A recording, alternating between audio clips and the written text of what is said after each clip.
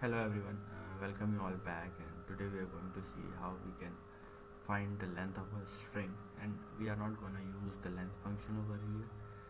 We are uh, going to use a piece of code to identify the length of uh, the string. So we have this uh, program over here where we have this class called length of string main. Inside that we have the main method where we are initializing this string. We are calling it word and uh, we have this method uh, which returns our uh, integer or int and uh, that will be the length of the string and we need to pass the word. And let's go and see what's what we are doing inside this uh, method. So if you see inside this method we have initialized uh, int variable. We are calling it length and that is initialized to 0 okay so whenever you perform this to-char array function or a method in, uh, to any string, it returns an array of characters. And for each uh, uh, each characters in that array, we are running this loop, right? This is the for each loop, and it will run for each element in this array, right? And uh, for each element, we are incrementing this length. Since it is zero, if this uh, array has one value or one element it will be incremented to 1 if it has 5 value it will be incremented to 5 okay. So this will be splitted into an array of uh, characters and first we'll have s and for s uh, for this first s this will increment to 1 and for you it will get incremented to 2 and it will keep on doing that and it will print the length of this string so let's run this program and see what is the output of this program.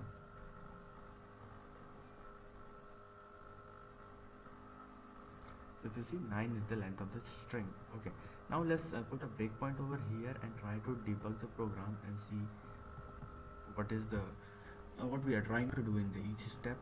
So once you put the breakpoint, you need to go to the program, right click and uh, debug as Java application once you do that it will ask you to open the debug perspective. So you can switch to debug perspective so that you will get the variables over right hand side. And you will also see these options to run the uh, each step at uh, a time. Okay. So we are at this line and we haven't executed this. So let's execute this line and initialize a variable a string variable which we are calling it word and the value is subscribe.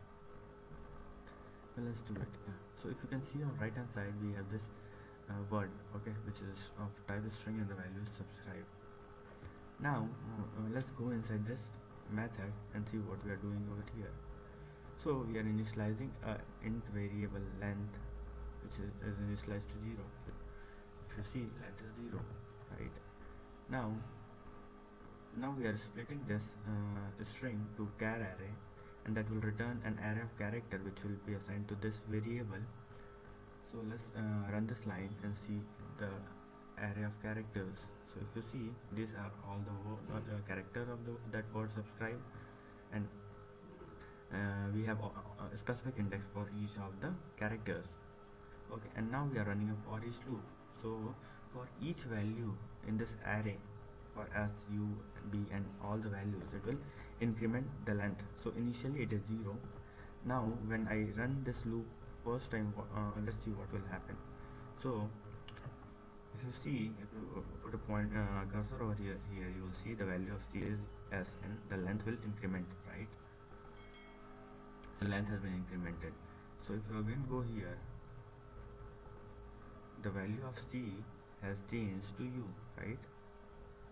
And it will keep on doing that till the end of this array. So the last value will be e so uh, uh, without wasting the time let's just, uh, just resume this program and see what is the output. So we have the length of the string is 9 so hope you guys have understood the concept and if you guys find any value in this video please do like share and subscribe. Thanks thanks for watching